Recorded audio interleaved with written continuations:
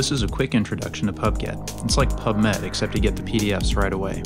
Suppose you're studying the Nick gene cluster. You want to get some papers on it and sit down and read up. Well, the way most people do this now is do a search on PubMed.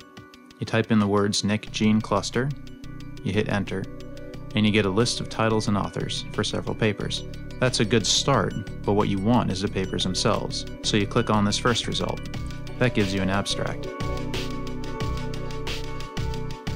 Then you click on this link in the corner.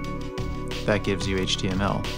Then you click on this link for PDF, and then finally, there you go.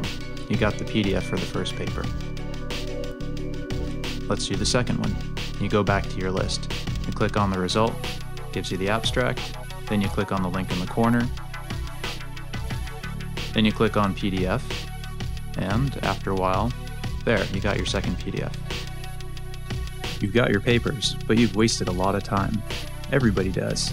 Each year, doctors and scientists spend more than a quarter billion minutes just searching for science. That's a problem. Here's a solution PubGet at www.pubget.com, the fastest way to search science.